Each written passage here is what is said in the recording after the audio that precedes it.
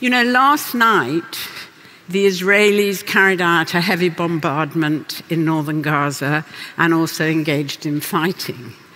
And this was the area they were supposed to have conquered. And yet Hamas is still there. It's still sending rockets against Israel. It's still ambushing soldiers from tunnels. It's still running the territory.